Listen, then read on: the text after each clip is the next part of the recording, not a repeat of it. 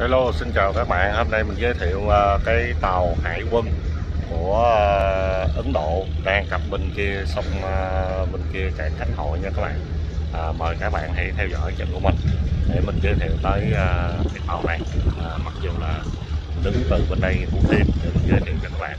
Đó, phía sau lưng mình đó các bạn. Đó, các bạn nhìn thấy không? Đó, cái tàu quân sự của hải quân Ấn Độ nha các bạn. Mời các bạn theo dõi